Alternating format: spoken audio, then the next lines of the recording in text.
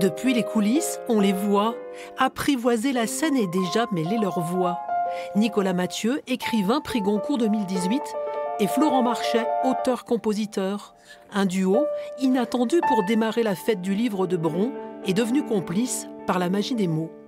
Et soudain, en regardant Beverly Hills à la télé, de haute mélancolie le prenait. Ailleurs, la Californie existait. Et là-bas, c'est sûr, les gens menaient des vies qui valaient le coup. Lui, il avait des boutons, des baskets trouées, son œil foutu, et ses parents qui régnaient sur sa vie. Où était la vie, merde? Ils ont vécu une même adolescence désabusée qu'ils décrivent avec la même ironie.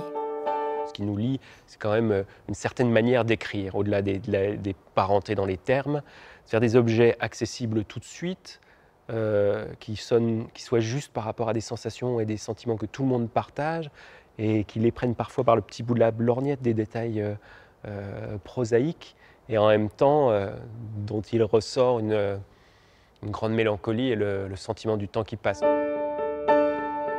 Les bonnes études, les bonnes rencontres, la vie est rude, on joue la montre, souvent mais on espère le bon cuit, le bon salaire. Tous mes albums sont des albums histoire. Euh, et, euh, et j'aime bien aborder la chanson sur le versant euh, sociologique aussi. Donc c'est pour ça qu'on se rejoint, Mais, mais c'est comme dans la vie.